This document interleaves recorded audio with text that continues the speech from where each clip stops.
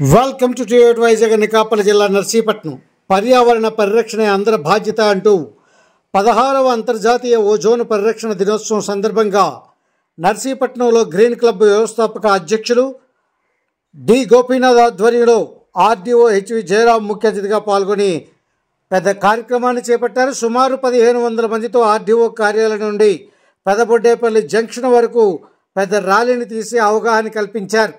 మొక్కలు నాటాలంటూ పర్యావరణ పరిరక్షించాలంటూ ఓజోన్ పొర పరిరక్షించుకోవాలంటూ వీరంతా నినాదాలను చేశారు.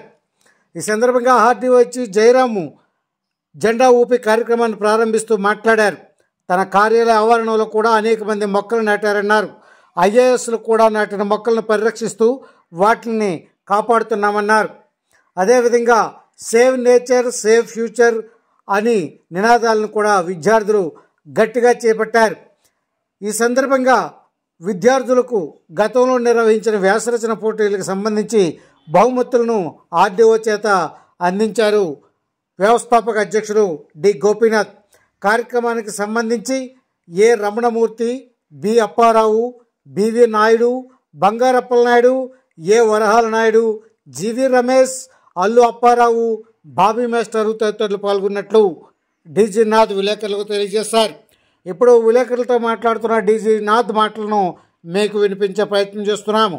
థ్యాంక్ యూ టు వెట్ వైజాగ్ మీ MA Raju international ozone day సందర్భంగా ఈరోజు నర్సీపట్నం ఆర్డీ హౌస్ నుంచి పెద్దబూడేలు జంక్షన్ వరకు భారీ ఎత్తున అవగాహన ర్యాలీ నిర్వహించడం జరిగింది. దీనిలో సుమారు పదిహేను వందల మంది పైగా విద్యార్థులు ఉపాధ్యాయులందరూ కూడా భారీ ఎత్తున పాల్గొనడం జరిగింది. ఓజోన్ లేయర్ వల్ల మరి కలిగే ఉపయోగాలు ఏంటి? ఓజోన్ లేయర్కి అంతరాలు పడడం వల్ల కలిగే నష్టాలు ఏంటి ఇవన్నీ కూడా అవగాహన కల్పించడం జరిగింది.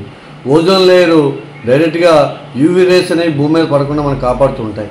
యూవీ రేస్ కానీ డైరెక్ట్గా పడినట్లయితే ప్రజల్లో క్యాన్సర్ వంటి రకరకాల వ్యాధులు ప్రబలే అవకాశం ఉంది కాబట్టి మన ఓజోన్ లేయర్ని మనం కాపాడాల్సిన అవసరం ఎంతైనా ఉంది. యూవీ రేస్ అనేవి మరి డైరెక్ట్గా పడినట్లయితే ప్రజలందరికీ కూడా క్యాన్సర్ ఇవన్నీ వ్యాధులు వస్తుంటాయి. ఓజోన్ పొర అందరూ పడకుండా ముఖ్యంగా పెస్టిసైడ్స్ కానీ సిఎఫ్సి వాయువులు కానీ అదేవిధంగా వాయు కాలుష్యం ఎక్కువ పెరగడం వల్ల ఇవన్నిటి వల్ల ఓజోన్ పొరకి రంధ్రం పడే అవకాశం ఉంది. కాబట్టి మనం ఓజోన్ పొర రంధ్రం పడకుండా కాపాడగలంటే ముఖ్యంగా వాయు కాలుష్యం నివారించాలి. వాయు కాలుష్యం నివారించాలంటే ఎక్కువగా మొక్కలు నాటాలి పర్యావరణాన్ని పరిరక్షించుకోవాలి. కాబట్టి ప్రత్యేకంగా పెద్ద ఎత్తున మరి ఈ ప్రజల్లో అవగాహన కల్పించడం కోసం పర్యావరణం పరిరక్షించండి మొక్కలు నాటండి అని చెప్పేసి అవగాహన కోసం ఈరోజు ర్యాలీ నిర్వహించడం జరిగింది. రాబోయే రోజుల్లో కూడా గ్రీన్ క్లబ్ నర్సీపట్నం వారి ఆధ్వర్యంలో మరిన్ని పర్యావరణ పరిరక్షణ కార్యక్రమాలు చేపడతామని చెప్పి ఈ సందర్భంగా మీకు తెలియజేస్తాం థ్యాంక్ యూ ఓజోన్ కాపాడండి మానవాళ రక్షించండి. ఓజోన్ కాపాడండి. ఓజోన్ కాపాడండి